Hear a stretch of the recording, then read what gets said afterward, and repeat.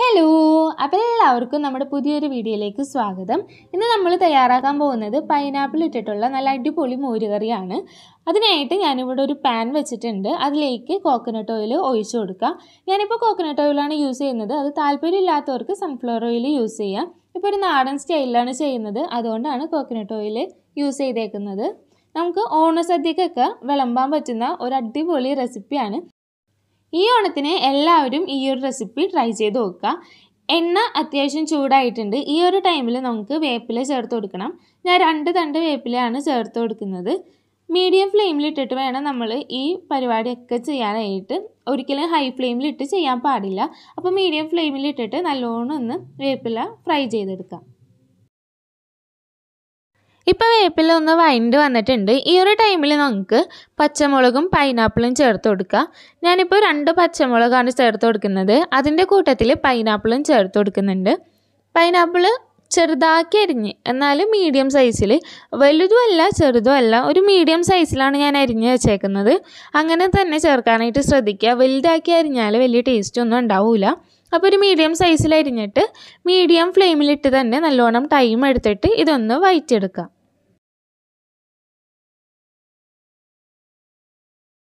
ഇനി നമുക്കിതിലേക്ക് ആവശ്യത്തിന് ഉപ്പ് ചേർത്ത് കൊടുക്കാം.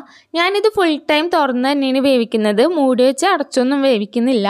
അപ്പോൾ അടച്ച് വേവിക്കാനായിട്ട് താല്പര്യമുള്ളവരാണെന്നുണ്ടെങ്കിൽ അങ്ങനെയും ചെയ്യാം. ഞാനിപ്പോൾ ഫുൾ ടൈം തുറന്ന് തന്നെയാണ് വേവിക്കുന്നത്. നമുക്ക് പൈനാപ്പിൾ നല്ലോണം ഒന്ന് മീഡിയം ഫ്ലെയിമിൽ ഇട്ടിട്ട് വയറ്റിയെടുക്കണം. നമുക്ക് വേണ്ട പരിവെന്ന് വെച്ചാൽ ഈ പൈനാപ്പിളൊക്കെ ഒന്ന് ചുരുങ്ങി വരുന്ന ഒരു ടൈം വരെ നമുക്കിങ്ങനെ വേവിച്ചെടുക്കണം. ഇനി നമുക്ക് മിച്ചറി ചെറിയ ജാറിലേക്ക് തേങ്ങ ചിരകിയത് അല്ലെങ്കിൽ തേങ്ങ കൊത്തി ചേർത്ത് കൊടുക്കുക. ഞാനിപ്പോൾ ഇതിന് മുന്നേ ചിരകിയ തേങ്ങയുടെ ബാക്കി കൊത്തുകൾ ഉള്ളതുകൊണ്ട് അതാണ് ചേർത്ത് കൊടുക്കുന്നത്. നിങ്ങൾക്ക് നിങ്ങളുടെ സാഹചര്യത്തിനനുസരിച്ച് ഏതായാലും ചേർത്ത് കൊടുക്കുക അതിനുശേഷം അതിലേക്ക് ചേർത്ത് കൊടുക്കുന്നത് ഉള്ളിയാണ്. ഞാനിപ്പോൾ മൂന്ന് ചെറുള്ളി ചേർത്ത് കൊടുക്കുന്നുണ്ട്. അതിന്റെ കൂട്ടത്തിൽ ഒരല്ലി മാത്രം വെളുത്തുള്ളി. പിന്നെ ചേർത്ത് കൊടുക്കുന്നത് ഒരു തണ്ട് വേപ്പില കീറിയിട്ടാണ് ചേർത്ത് കൊടുക്കുന്നത്. അതിനുശേഷം നമുക്ക് ഇതിലേക്ക് ഒരു കൂട്ടം കൂടെ ചേർത്ത് കൊടുക്കണം. നമ്മൾ വെള്ളം തിളപ്പിക്കാനൊക്കെ എടുക്കുന്ന സാധാ ജീരകം. അത് ഒരു അഞ്ചാറ് ജീരകം ചേർത്ത് കൊടുക്കണം. അതിനുശേഷം ഇത് ഫുള്ളായിട്ടൊന്ന് ബ്ലെൻഡ് ചെയ്തെടുക്കണം. നല്ല ഫൈനായിട്ട് ഈ തേങ്ങാക്കുത്ത് ഇടുന്നവർ എന്തായാലും ശ്രദ്ധിക്കണം. നല്ലോണം ബ്ലെൻഡ് ചെയ്താൽ കറക്റ്റായിട്ട് ഇങ്ങനെ തേങ്ങയുടെ കൊത്തുകളൊന്നും ഇല്ലാതെ കറക്റ്റായിട്ട് നമുക്ക് എടുക്കാൻ പറ്റുള്ളൂ. തേങ്ങ ചെറുകിയിട്ടാണ് ചേർത്ത് കൊടുക്കുന്നതെങ്കിൽ കുറച്ചൊന്ന് ബ്ലെൻഡ് ചെയ്താൽ മതിയാവും. തേങ്ങ കൊത്താവുമ്പോൾ നമ്മൾ കുറച്ച് നേരം കൂടുതൽ ബ്ലെൻഡ് ചെയ്തെടുക്കണം. എന്നാലേ ആ കുത്തുകളൊക്കെ ഒന്ന് ഫുള്ളായിട്ട് മാറുള്ളൂ. ഇങ്ങനെ ഫൈൻ പേസ്റ്റ് ആയിട്ട് വേണം നമുക്ക് എടുക്കാനായിട്ട്.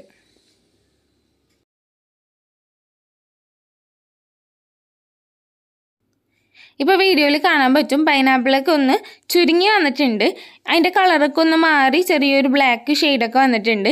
ഈ ഒരു ടൈമിൽ നമുക്കതിലേക്ക് ഒരു ടീസ്പൂൺ കുരുമുളക് പൊടിയും ഒരു ടീസ്പൂൺ മുളക് പൊടിയും ചേർത്ത് കൊടുക്കുക ഈ അളവൊക്കെ നമുക്ക് മാറ്റാവുന്നതാണ് ഓരോരുത്തരുടെ ടേസ്റ്റിനനുസരിച്ച് മുളക് പൊടിയുടെയും കുരുമുളക് പൊടിയുടെയൊക്കെ അളവ് നമുക്ക് മാറ്റിയെടുക്കാം.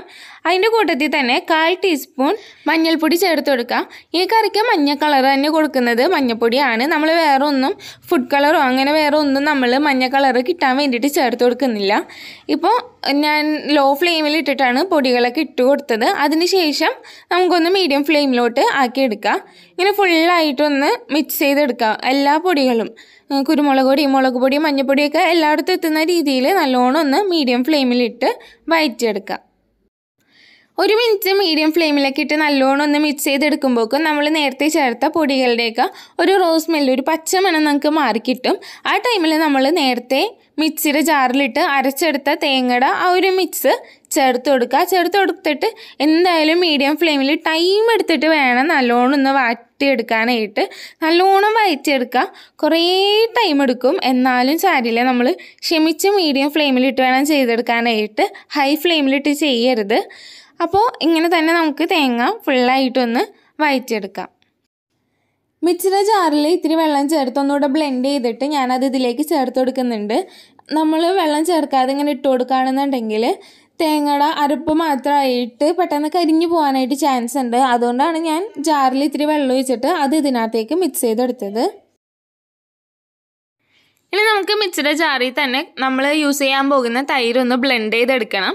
അപ്പോൾ ഇപ്പോൾ ഒഴിക്കുമ്പോൾ തന്നെ ഇതിനകത്ത് കാണാൻ പറ്റും കുറച്ച് കട്ടകളുണ്ട്. ഈ കട്ടകളൊക്കെ ഒന്ന് മാറാൻ വേണ്ടിയിട്ടാണ് നമ്മൾ ബ്ലെൻഡ് ചെയ്തെടുക്കുന്നത്. നല്ലോണം ഒന്ന് ബ്ലെൻഡ് ചെയ്തെടുക്കാം ഇനിയിപ്പോൾ കട്ടകൾ ഇല്ലാത്തതായാലും ഇല്ലാത്ത തൈരായാലും മോരായാലും നമുക്ക് ഒന്നുകൂടെ ഒന്ന് ബ്ലെൻഡ് ചെയ്തെടുക്കുന്നത് നല്ലതായിരിക്കും. അതുകൊണ്ട് ഞാനിപ്പോൾ ഇതൊന്ന് ബ്ലെൻഡ് ചെയ്തെടുത്തിട്ട് വരാം കേട്ടോ നമ്മൾ നേരത്തെ ചേർത്ത തേങ്ങയുടെ അരപ്പൊക്കെ ഒന്ന് വറ്റി വറ്റി ഈ ഒരു പരുവത്തിലായിട്ടുണ്ട്. ഈ ടൈമിൽ വേണം നമ്മൾ നേരത്തെ ബ്ലെൻഡ് ചെയ്ത് വെച്ച മോര് ചേർത്ത് കൊടുക്കാനായിട്ട്. വെള്ളം വറ്റാതെ ഈ തേങ്ങയിലെ വെള്ളമൊക്കെ ഒന്ന് വറ്റാത്ത ടൈമിൽ നമ്മൾ ചേർത്ത് കൊടുക്കുകയെന്നുണ്ടെങ്കിൽ നമ്മൾ ഉദ്ദേശിക്കുന്ന ടേസ്റ്റ് ഒന്നും കിട്ടൂല.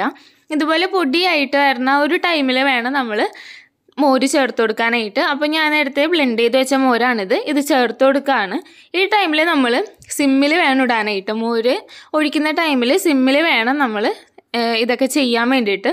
അപ്പോൾ ഞാനിത് ഫുള്ളായിട്ടൊന്ന് മിക്സ് ചെയ്തെടുക്കുകയാണ് ലോ ഫ്ലെയിമിൽ തന്നെ വേണം ഇത് ചെയ്യാനായിട്ട്. ഹൈ ഫ്ലെയിമിലോ മീഡിയം ഫ്ലെയിമിലോ ചെയ്യാൻ പാടില്ല. ഒഴിച്ച് കഴിഞ്ഞിട്ട് നല്ലോണം ഒന്ന് മിക്സ് ആക്കിയ ശേഷം നമുക്ക് ലോ ടു മീഡിയം ഫ്ലെയിമിൽ ഇട്ടിട്ട് ഒന്ന് തിളപ്പിച്ചെടുക്കാം. തിളപ്പിച്ചെടുക്കുക എന്ന് പറഞ്ഞാൽ ഭയങ്കരമായിട്ട് തിള വരുന്ന രീതിയിലല്ല. എന്നാൽ കുറവ് തിള തിളക്കലും അല്ല. ഏകദേശം തിളച്ചിട്ടുണ്ട് എന്നാൽ തിളച്ചിട്ടില്ല. ആ ഒരു രീതിയിൽ വേണം നമ്മൾ ഇത് ഇറക്കി വെക്കാനായിട്ട്. തിരുവോണം വരെ നമ്മൾ ചെയ്യാൻ ഉദ്ദേശിക്കുന്നത് ഓണം റെസിപ്പീസാണ് അതായത് സദ്യക്ക് വിളമ്പാൻ പറ്റുന്ന അത്യാവശ്യം കൂട്ടുകറികളും ചാറുകറികളും എല്ലാം നമ്മൾ അപ്ലോഡ് ചെയ്യുന്നതായിരിക്കും. തിരുവോണത്തിന്റെ അന്ന് വരെ നമ്മൾ അപ്ലോഡ് ചെയ്യും. അപ്പോൾ അടുത്തതായിട്ട് നമ്മൾ ചെയ്യാൻ പോകുന്നത് ഇഷ്ടുക്കറിയാണ്. അതുപോലെ തന്നെ സാമ്പാറും എല്ലാ റെസിപ്പീസും നമ്മൾ പറ്റാവുന്ന അത്രയും റെസിപ്പീസ് എല്ലാ ദിവസവും ഓരോ ദിവസവും ഓരോ വീഡിയോസായിട്ട് അപ്ലോഡ് ചെയ്യുന്നതായിരിക്കും. അതുപോലെ തന്നെ അച്ചാറും കായ വറുത്തതും എല്ലാം നമ്മൾ അപ്ലോഡ് ചെയ്യും. അപ്പോൾ എല്ലാവരും ചാനൽ സബ്സ്ക്രൈബ് ചെയ്യുക പുതിയതായിട്ട് കാണുന്നവരും സബ്സ്ക്രൈബ് ചെയ്യുക ഈ വീഡിയോ ഇഷ്ടപ്പെട്ടാൽ ലൈക്കും ചെയ്യുക. ഓണത്തിനുള്ള എല്ലാ റെസിപ്പീസും നമ്മൾ അപ്ലോഡ് ചെയ്യും. അതുകൊണ്ട് കാണാനായിട്ട് താല്പര്യമുള്ളവർ എന്തായാലും സബ്സ്ക്രൈബ് ചെയ്യുക. നോട്ടിഫിക്കേഷൻ ലഭിക്കാൻ വേണ്ടിയിട്ട് ബെല്ലൈക്കണും കൂടെ എനേബിൾ ചെയ്ത് വെക്കാം ഈ ഒരു ടൈമിൽ നമുക്ക് ടേസ്റ്റൊക്കെ ഒന്ന് നോക്കാം. അതായത് ഉപ്പോ പുളിയോ എരിവോ എന്തെങ്കിലുമൊക്കെ കുറവുണ്ടെങ്കിൽ ഈ ടൈമിൽ നമുക്ക് ചേർത്ത് കൊടുക്കാവുന്നതാണ്. അപ്പോൾ ഞാൻ നോക്കിയപ്പോൾ കുറച്ച് ഉപ്പിന്റെ കുറവുണ്ടായിരുന്നു. അതുകൊണ്ട് ഈ ടൈമിൽ ഉപ്പ് ചേർത്തിട്ട് ഫുള്ളായിട്ടൊന്ന് മിക്സ് ചെയ്തെടുക്കുകയാണ് നിങ്ങളും ഈ ടൈമിൽ തന്നെ എന്തായാലും നോക്കുക നോക്കാതിരിക്കരുത്. ഫുള്ളായിട്ട് ഈ ടൈമിലൊക്കെയാണ് നമുക്കൊന്ന് ഉപ്പും പുളിയൊക്കെ ഒന്ന് ടെസ്റ്റ് ചെയ്തിട്ട് കറക്റ്റാക്കി വെക്കാൻ പറ്റുന്ന ഏറ്റവും നല്ല ടൈം ഇതാണ്. അതുകൊണ്ട് ഈ ടൈമിൽ ഒന്ന് ടേസ്റ്റ് ചെയ്ത് നോക്കിയിട്ട് കുറവൊക്കെ ഉള്ളത് കൂട്ടി നമ്മുടെ ടേസ്റ്റിനനുസരിച്ചിട്ട് ഓരോരുത്തർക്കും ഓരോ ടേസ്റ്റ് ആയിരിക്കും. നമ്മുടെ ടേസ്റ്റിനനുസരിച്ച് ഒന്ന് കറക്റ്റാക്കി ലെവൽ ചെയ്ത് നമുക്ക് കറി ഒന്ന് സെറ്റാക്കി എടുക്കാൻ പറ്റുന്ന ടൈമാണ്. അപ്പോൾ അതെന്തായാലും കറക്റ്റാക്കി എടുക്കാം. ഇപ്പോൾ നോക്കിയാൽ കാണാൻ പറ്റും. നടുക്ക് ചെറുതായിട്ടൊന്ന് തിളച്ച് വരുന്നുണ്ട്. ഈ ഒരു ടൈമിൽ നമുക്ക് മാറ്റി വെക്കാം. കുറച്ചുകൂടെ തിളച്ചാലും കുഴപ്പമില്ല. എന്തായാലും ഒന്ന് തിള വരാൻ പോകുന്ന ടൈമിൽ നമുക്കിതൊന്ന് ഇറക്കി വെക്കുന്നതായിരിക്കും നല്ലത്.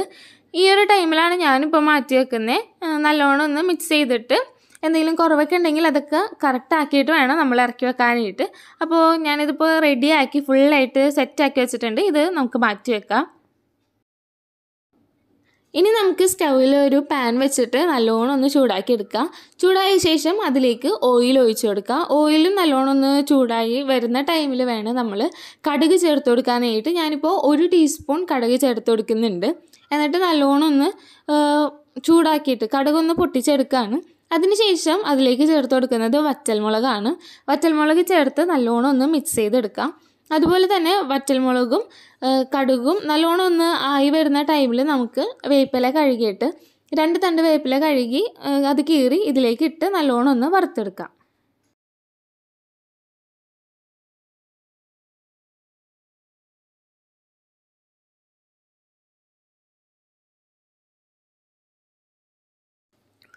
ഇനി നമുക്ക് നമ്മൾ നേരത്തെ റെഡിയാക്കി വെച്ചേക്കുന്ന മോരുകറിയിലേക്ക് കടുക് പൊട്ടിച്ചത് ഫുള്ളായിട്ട് ചേർത്ത് കൊടുക്കുക. അപ്പോൾ കുറച്ചൊക്കെ പാനിൽ നിൽക്കുന്നുണ്ടാവും അത് ഫുള്ളായിട്ട് എടുക്കാൻ വേണ്ടിയിട്ട് മോരുകറിയിൽ നിന്ന് കുറച്ചെടുത്ത് പാനിലേക്ക് ഇട്ട ശേഷം ഫുള്ളായിട്ടൊന്ന് സ്പ്രെഡ് ചെയ്തിട്ട് പാനിലേക്ക് ഒഴിച്ചാൽ മതിയാവും. അപ്പോൾ നമുക്ക് കറക്റ്റ് ടേസ്റ്റിലൊക്കെ ഈ മോരുകറി ഉണ്ടാക്കി എടുക്കാൻ സാധിക്കും. ഓണത്തിന് എല്ലാവരും ഈ റെസിപ്പി ട്രൈ ചെയ്ത് നോക്കാം. അപ്പോൾ ഇത്രേ ഉള്ളൂ നമുക്ക് മോരുകറി റെഡിയാക്കാനായിട്ട്. എല്ലാവരും ട്രൈ ചെയ്ത് നോക്കുക. അടിപൊളി റെസിപ്പിയാണ് ഓണത്തിനൊക്കെ എന്തായാലും ട്രൈ ചെയ്യുക. അപ്പോൾ അടുത്ത വീഡിയോ ആയിട്ട് കാണാം. അതിനു മുന്നേ നമ്മൾ ചാനൽ സബ്സ്ക്രൈബ് ചെയ്തിട്ടില്ല എന്നുണ്ടെങ്കിൽ എല്ലാവരും ചാനൽ സബ്സ്ക്രൈബ് ചെയ്യുക. ഓണ റെസിപ്പീസാണ് ഇനി അപ്ലോഡ് ചെയ്യാൻ പോകുന്നത്.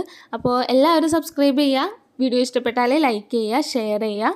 അപ്പോൾ അടുത്ത വീഡിയോ ആയിട്ട് നമുക്ക് എന്തായാലും കാണാം. Bye bye